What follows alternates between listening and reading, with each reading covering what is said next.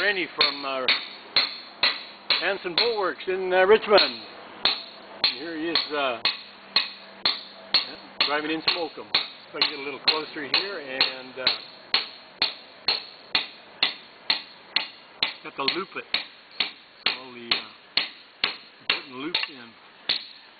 The strands are sort of facing out of the seam there.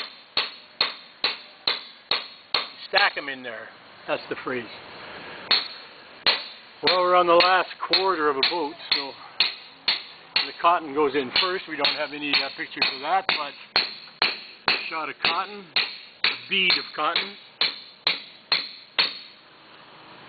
And, uh, one oakum. Paint them.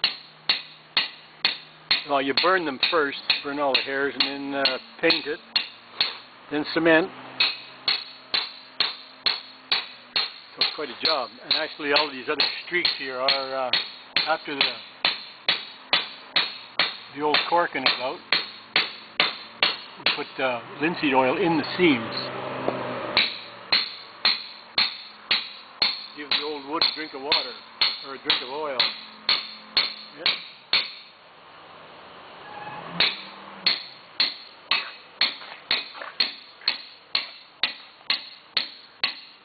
It's an art.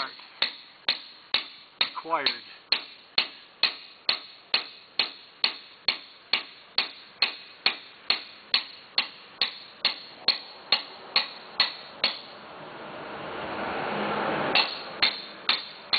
So hmm. oh, you know where you finished.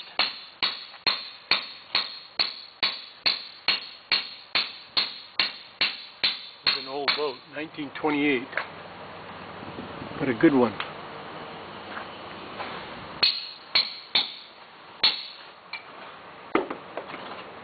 Pretty good.